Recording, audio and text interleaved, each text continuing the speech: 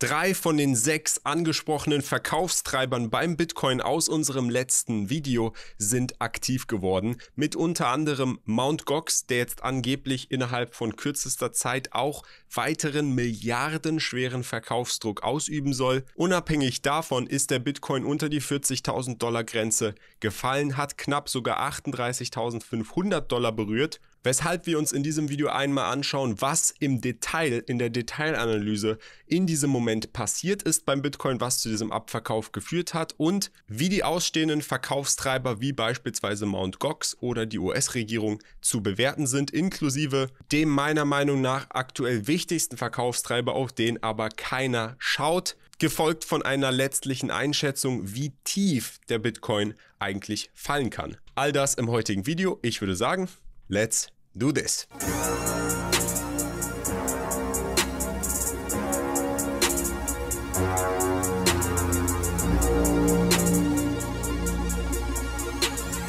Also erstmal vorab, Freunde. Super Dankeschön von mir an dieser Stelle für eure Unterstützung auf das letzte Video. Über 10.000 Likes, die wir da geknackt haben. Und interessanterweise, als hätten wir wirklich eine Glaskugel, haben sich von den Verkaufsgründen, über die wir im letzten Video gesprochen haben, bisher drei schon aktiviert. Da werden wir im Detail mal reinschauen. Vorher nochmal ganz kurz die Erinnerung der Host Clips Wettbewerb, bei dem jeder teilnehmen kann, wenn er Kurzclips erstellen möchte von meinem Content und sich an einem Gewinnpool von jetzt aktuell 5600 Dollar, also 100% der AdSense-Einnahmen beteiligen möchte, läuft weiterhin. Wir haben die Schwelle für den kleinen Pool auf 100.000 Klicks angehoben und beim großen Pool auf 500.000. Dadurch wird es zwar weniger Gewinner geben, aber der Gewinn wird unter den Gewinnern deutlich größer. Da gab es einfach im letzten Mod so viele Gewinner, dass wir gesagt haben, ehe jeder irgendwie 30 oder 100 Dollar kriegt, ist es besser, wenn die einzelnen Personen dann potenziell einen größeren Gewinn bekommen. Link dazu inklusive Regeln und so weiter ist alles verlinkt unten. Aber jetzt würde ich sagen, kommen wir zum Video. Drei unserer sechs Verkaufstreiber haben sich bereits aktiviert. Der erste von dem ganzen GBTC läuft nach wie vor weiter an. Da schauen wir einmal rein, denn wir haben den bisher größten Abverkauf bei GBTC auf den Tag betrachtet in Höhe von 640 Millionen Dollar erreicht. Der nächste Verkaufstreiber FTX hat sich tatsächlich früher als erwartet bestätigt. Wir haben ja im letzten Video darüber gesprochen, dass sie GBTC halten. Auch da gehe ich als nächstes drauf ein. Und Mount Gox, da gibt es jetzt Neuigkeiten. Auch der Verkaufstreiber, den viele immer wieder vergessen, der dann mal wieder kommt wegen den ganzen Schlagzeilen und dem ganzen Clickbait.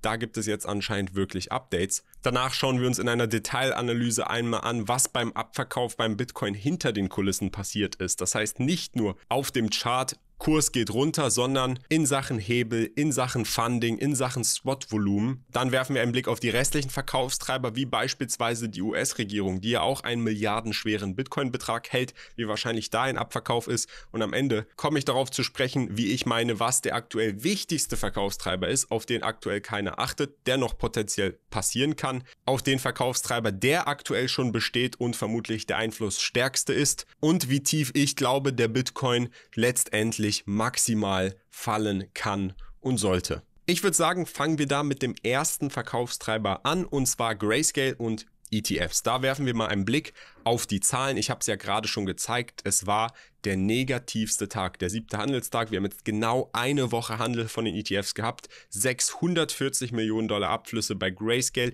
Insgesamt konnten die Zuflüsse an diesem Tag auch leider wieder nicht den Abflüssen entgegenkommen. 87 Millionen Nettoabfluss, was trotzdem eine gute Summe ist an Betracht dieser 640 Millionen von Grayscale alleinig. Das Fazit nach einer Woche ist aber eigentlich positiv. Ich habe hier mal fünf Stichpunkte zusammengefasst. Am siebten Tag gab es 87,5 Millionen Dollar Nettoabflüssen bei den ETFs. Ja, habe ich ja gerade schon gesagt. An drei von sieben Tagen hatten wir Nettoabflüsse. Das heißt aber immer noch vier von sieben Tage positiv, was auch etwas Positives ist. Am Ende steht ein Nettozufluss von über knapp einer Milliarden Dollar seit Launch. Ja, wir sind immer noch positiv seit Launch. Das heißt, dass die ETFs seit Launch immer noch einen positiven Einfluss hatten. GBTC hat 3,4 Milliarden Dollar verkauft. Zieht man die eine Milliarde von der FTX-Insolvenz ab, da haben wir im letzten Video darüber gesprochen und es hat sich jetzt tatsächlich bewahrheitet als einer der Verkaufstreiber, kommen wir gleich drauf zu sprechen, dann wären es 2 Milliarden Dollar Zufluss und fünftens, insgesamt besitzen die neuen ETF-Anbieter jetzt ohne GBTC bereits mehr als 100.000 Bitcoins. Also insgesamt ein positiver Start. Sieht man auch hier in diesem Chart. Da sieht man einmal die ETF Holdings over Time.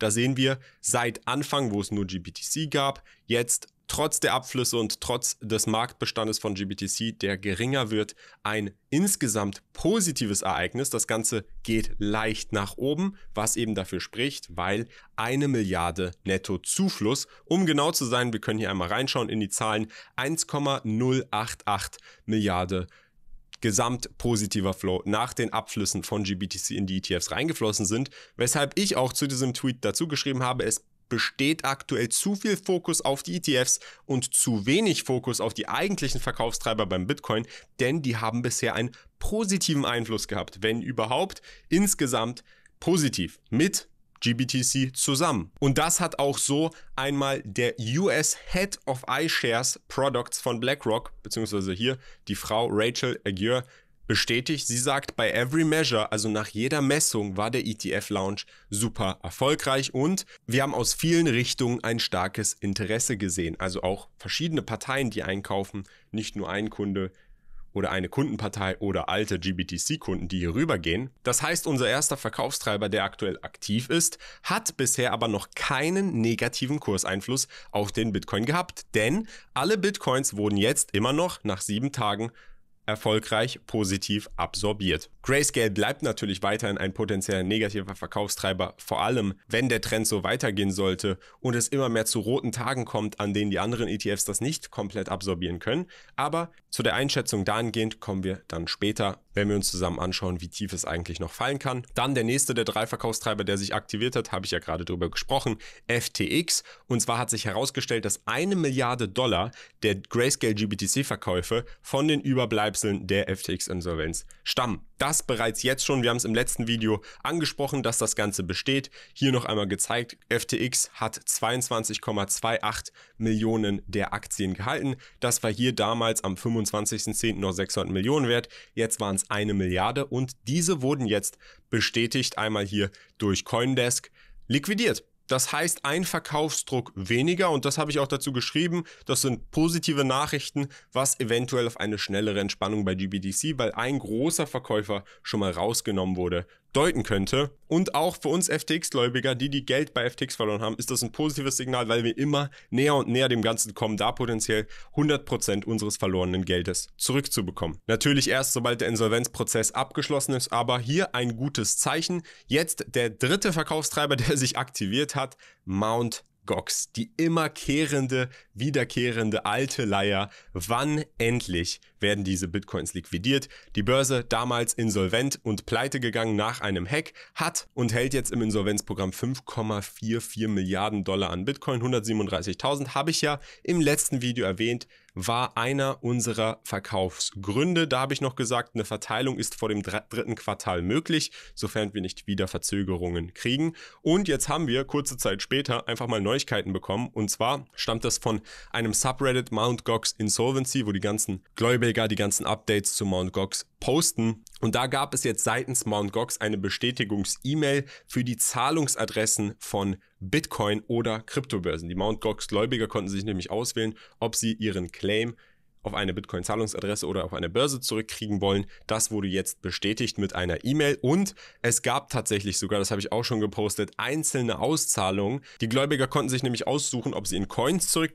bezahlt werden oder in einem Banktransfer. Und da haben jetzt einige, beispielsweise aus Japan oder hier beispielsweise auch auf ein portugiesisches Bankkonto, bereits ihre Rückzahlungen bekommen scheinbar. Auch hier in Polen sehen wir hier, vor 20 Stunden hat es jemand gepostet, der es scheinbar zurückbekommen hat. Diese Auszahlungen sind nicht in Bitcoin, der Teil ist hier in Dollar bzw. Cash aufs Konto. Die große Frage bleibt, was passiert mit den 137.000 Bitcoin? Da erstmal Entwarnung. Nein, es hat sich da noch nichts getan in der Wallet, wie ihr hier einmal erkennen könnt. Bei den Outflows sehen wir, war die letzte Transaktion vor fünf Jahren, was Bitcoin angeht. Also da hat sich noch nichts auf der Chain bewegt. Und auch in Sachen Rückzahlung gab es bereits verschiedene Deadlines für die verschiedenen Börsen, auf die die Mt. Gox Gläubiger ihre Bitcoins zurückkriegen können, von beispielsweise 60 Tagen nach Einzahlung bis sogar 90 Tagen oder sogar nur 14 Tagen. Das heißt, durchsichtig ist das Ganze absolut nicht. Es gibt auch hier noch keine so richtige zeitliche Einschätzung, die man als akkurat bezeichnen würde. Das Ausmaß kann man auch nicht akkurat einschätzen, denn ein Großteil dieser Bitcoins wurden vorzeitig was die Claims angeht, von Unternehmen abgekauft zu einem geringeren Cent zu Dollar Betrag.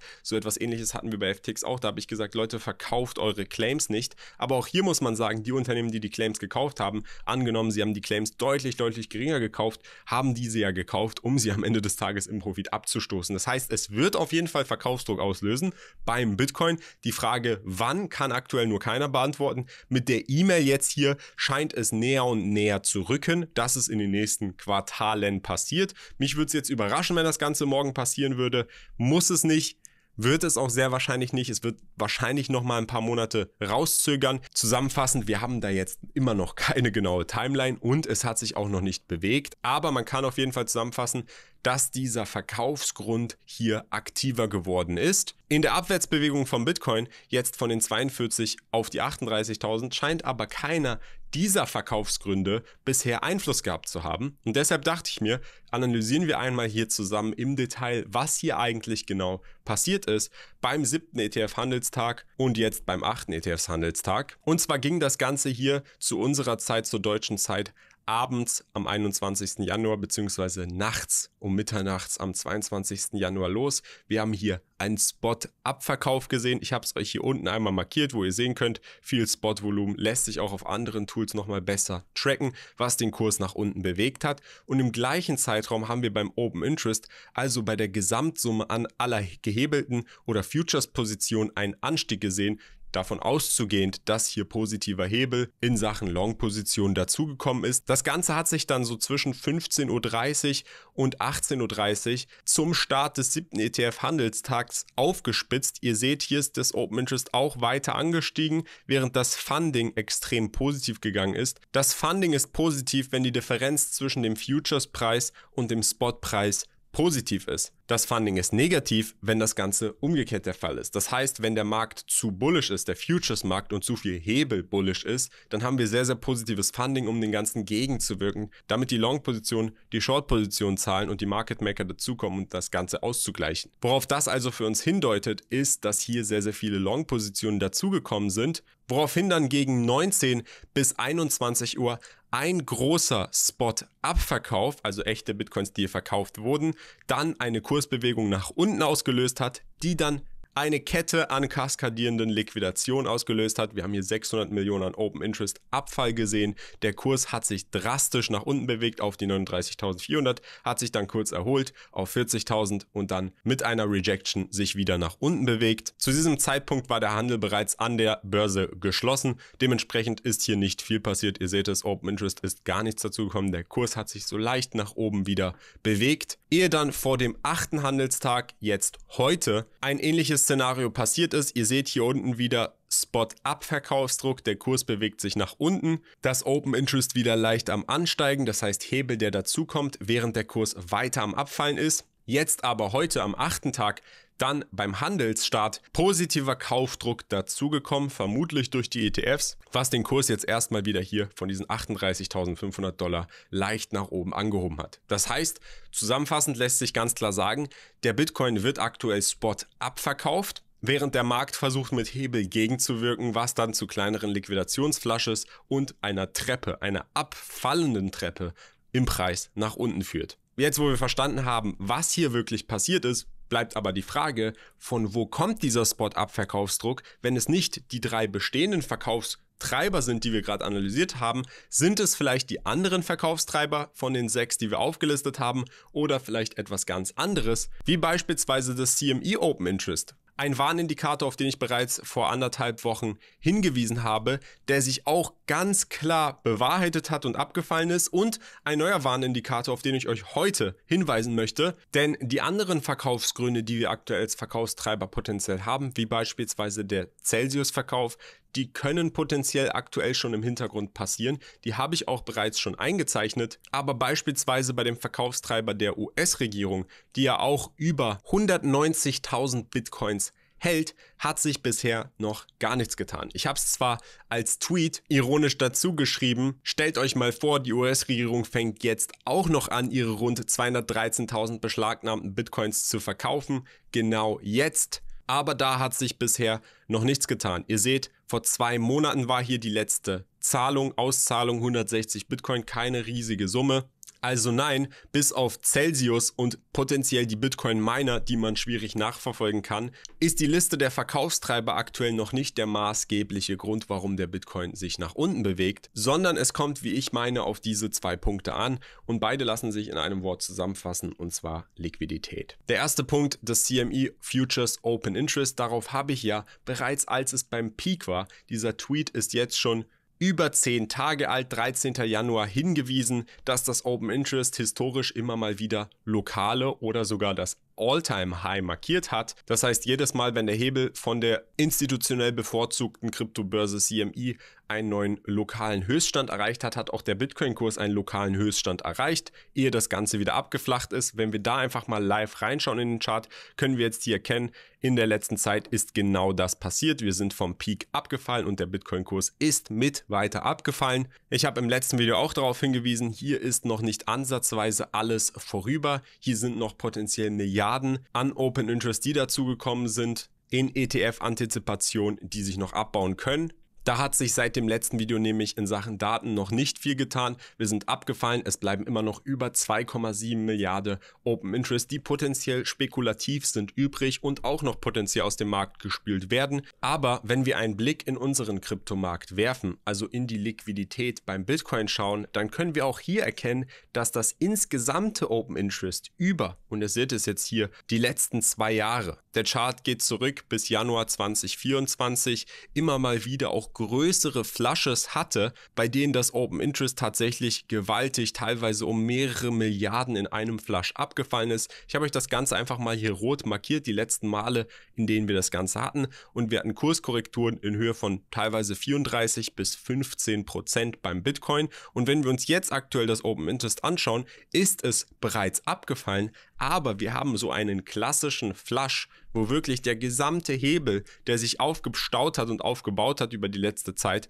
rausgenommen wurde, bisher noch nicht gesehen. Das letzte Mal, wo wir das Ganze gesehen haben, war im August. Da hat sich der Bitcoin-Kurs sehr, sehr stark gehalten, muss man sagen, denn vom Korrekturniveau, obwohl es vom Ausmaß des Hebels relativ ähnlich mit diesen vorherigen Crashes und Liquidationsflushes war, haben wir hier nur eine 15-prozentige Kurskorrektur gesehen. Ich kann mir jetzt vorstellen, dass wir mit den ETFs, selbst wenn wir hier wieder im gleichen Ausmaß, sprich knapp 2 Milliarden nochmal Hebel rausgenommen aus dem Kryptomarkt, einen Flush erleben würden, vorstellen, dass der Kurs maximal irgendwo zwischen 10 und 20 Prozent runterflaschen würde. Bei 20 Prozent aktuell, wenn man hier das bisherige vielleicht schon sogar mit einbezieht in einen potenziellen Flush, wären wir ungefähr bei 33.000. Bei 15 Prozent wären wir ungefähr bei 35.000 Dollar. Ich will euch jetzt hier keineswegs damit Panik machen. Es ist auch nicht zu 100 Prozent garantiert, dass das Ganze passieren muss. Ich will euch nur darauf aufmerksam machen, dass wir auch im Kryptomarkt einen extremen Anstieg in Höhe von knapp 5 Milliarden Dollar in Open Interest hatten. Der hat sich zwar auch einigermaßen korrigiert, aber es stehen immer noch über 3 Milliarden an Open Interest seit ETF-Spekulationshype dazu. Zuzüglich dann nochmal dieser knapp 2 Milliarden auf der CME-Börse sind wir da bei knapp 5 Milliarden an Open Interest, was hier, sollte es zu einem riesigen Abverkauf kommen, in einem Liquidationsflash aus dem Markt gespült werden würde. Und wo man ganz klar sagen muss, ich habe es ja in Vergangenheit schon erwähnt, das Incentive der Market Maker, diesen 35, 34.000 Dollar Bereich hier zu erreichen, weil da einfach so viel Liquidität noch liegt, ist sehr, sehr hoch. Dementsprechend werfen wir einfach mal einen Blick auf unseren Chart, den wir ja schon im letzten Video erstellt haben, wo ich für uns einige dieser Deadlines eingezeichnet habe. Ich habe jetzt hier mal ein paar kleine Veränderungen gemacht. Zum einen habe ich die GBTC-Verkäufe das Ende der Hälfte, also wenn die Hälfte verkauft wird, habe ich im letzten Video erklärt, ein bisschen nach vorne geschoben, weil ich das Ganze nochmal nachkalkuliert habe, um zwei Tage, knapp auf den 16. Februar. Außerdem habe ich die FTX-Insolvenz hier eingetragen. Die ist bereits passiert. Wie gesagt, ein positives Zeichen. Der Kurs ist jetzt hier in unserem Zielbereich und unter unserem Daily Support Bereich gestürzt. Ein Grund für den Abverkauf aktuell könnten vor allem die Celsius-Insolvenz-Abverkaufsbeträge sein, die jetzt hier passieren, wissen wir aber erst am Ende. Für mich steht fest, der Bitcoin kann hier auf jeden Fall und wird vermutlich auch nochmal diesen Supportbereich zwischen 37.800 Dollar und 36.760 Dollar antesten. Hier lag die meiste Liquidität auf dem Run-Up. Hier haben wir sehr, sehr viel Zeit verbracht in Sachen Support und Resistenz, viel mit diesem Bereich gekämpft. Hier müsste der Bitcoin einen Support aufbauen. Ich habe aber auch, wie ihr schon erkennen könnt, ein GBTC Worst Case Szenario hinzugefügt und zwar habe ich einmal ausgerechnet, wie lange es dauern würde bei 10.000 Bitcoins am Tag, wobei man aber auch ganz klar sagen muss, aktuell verkauft Grayscale deutlich mehr als 10.000 Bitcoins am Tag. Gestern alleine waren es knapp 18.000 Bitcoins, weil einfach wenn der Bitcoin-Preis weiter runterfällt, die Outflow-Menge aber in Milliarden eine gleiche oder sogar leicht steigende ist, die Bitcoin-Summe sich verringert. Nichtsdestotrotz im Worst Case würde Grayscale auf Null runterlaufen, wovon ich nicht hundertprozentig ausgehe, aber wir wollen ihn hier einmal darstellen. Bei aktuellem Tempo, wenn das weiter so bleiben würde, wäre das meinen Rechnungen zufolge irgendwann Mitte März, also am 18. März, wie ich jetzt hier eingezeichnet habe. Wie gesagt, das Szenario muss nicht so passieren, Dafür habe ich auch nochmal eine separate Box hier angelegt in Sachen Zielzonen, wenn man davon ausgeht, dass es passiert, dass Grayscale das Ganze komplett runterrattert. Da liegt der Tiefstbereich, den ich dafür sehe, bei 31.000 Dollar. Wobei man ganz klar sagen muss, in Sachen Liquidität ist der wichtigste relevante Liquiditätsbereich hier bei 28.000 bis 26.000 Dollar, wie ihr hier am Seitenprofil erkennen könnt. Das heißt, wenn dieser Bereich hier bei 34.000 Dollar nicht halten sollte, zwischen 34.400 und 33.000, wo ja auch unser Liquidationsbereich liegt, dann glaube ich nicht, dass dieser 31.000 Dollar Bereich hier halten wird. Der ist eher hier drinne, falls es zu einer Liquidationsweek kommen sollte, die dann direkt wieder aufgekauft wird und der Bitcoin hier dann sein lokales Bottom findet. In Sachen Bottom-Bereiche sehe ich persönlich zwei Bereiche. Erstens einmal hier dieser Bereich 37.000, 36.700. Das wäre so der erste Bereich, in dem die Struktur auch noch weiterhin positiv wäre. Falls wir den verlieren sollten, was euch keiner vorhersehen kann, inklusive mir, dann wird es relativ schnell hier auf den nächsten Liquiditätsbereich 34.000 zwischen 33.000 gehen, angesichts, wie gesagt, der Tatsache, dass wir hier so ein Liquidationscluster haben, was potenziell die Kurse nochmal tiefer drücken könnte, kann es sein, dass wir hier dann eine kleine Wick nach unten sehen würden, aber dann hätten wir prozentual auch im Korrektur Tour-Szenario des Worst Case 30% seit der Spitze komplett ausgedient. Wenn dann natürlich noch zusätzlich ein US-Regierungsverkaufspanik-Sale kommt, kann es natürlich noch mal tiefer gehen. Aktuell würde ich aber sagen, ist 34.000, 33.000 Dollar eigentlich das Bottom, was jeder maximal antizipieren sollte. Auch strukturell, wenn wir uns das einmal hier überliegend auf dem Weekly Chart anschauen, würde, wenn wir hier unten das Bottom sehen würden und dann potenziell hier eine Seitwärtsbewegung oder eine Aufwärtsbewegung, das strukturell nach wie vor überliegend beim Bitcoin nach höheren Tiefs aussehen und einem insgesamt ansteigenden positiven Trend, auch bei einer Verlangsamung hier runter, Seitwärtsbewegung und einem Crash runter. Jetzt muss man ganz klar sagen, unsere relevantesten Bullenmarkt-Support-Level, also einmal das 200er Moving Average und das 200er Exponential Moving Average, liegen hier im Bereich zwischen 30.500 und 26.800 Dollar. Ich kann mir aktuell, sollten wir nicht ein Zusammentreffen aller negativen Faktoren gleichzeitig bekommen oder einen potenziellen Makro-Crash, nicht vorstellen, dass der Bitcoin tiefer als dieser Bereich fallen würde. Das heißt, selbst wenn wir hier die Liquidationskaskade bekommen, die wir bisher beim Bitcoin jedes Mal immer wieder bekommen haben, glaube ich nicht, dass der Bitcoin hier unter einen Bereich von diesen 30.000 bis hier irgendwo 26.000 Dollar fallen wird. Also wenn man es so sehen will, sehe ich persönlich das maximale Bottom irgendwo hier. Natürlich ist das noch ein weiter Weg hin. Ehe das Ganze eintrifft, müssen konditionell ein paar andere Dinge vorher passieren. Dementsprechend meine persönliche Position und Einschätzung.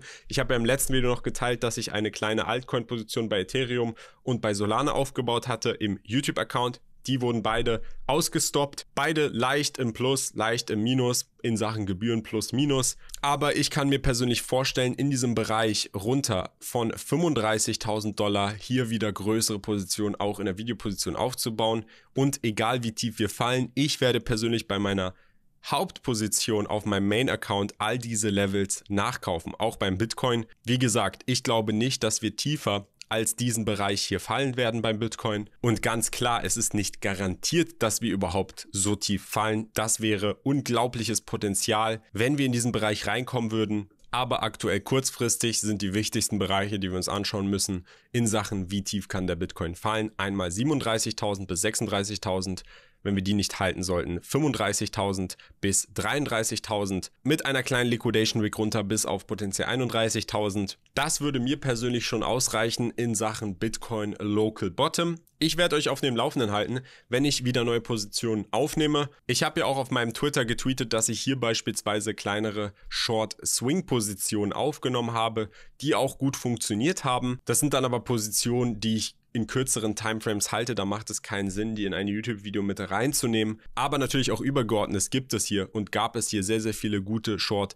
Einstiegsmöglichkeiten. Solange ihr euer Risikomanagement vernünftig betreibt, steckt der Markt immer noch voller Möglichkeiten und wenn ihr das Ganze bereits auf einer anderen Börse macht und diesen Kanal unterstützen wollt, könnt ihr euch einmal mit dem Link in der Videobeschreibung auf der BitGet-Börse anmelden. Das ist die Börse, die ich jeden Tag benutze. Da spart ihr nochmal 20% aller Gebühren. Seid bei knapp 0,005% Gebühren. Unterstützt diesen Kanal und qualifiziert euch fürs Alpha-Dojo, sobald es launcht. 100% kostenlos müsst ihr nicht machen. Ansonsten freue ich mich natürlich über jede Unterstützung in Form eines Likes, eines Kommentars oder eines Abos. Und damit würde ich sagen, war's das und wir sehen uns im nächsten Video. Peace.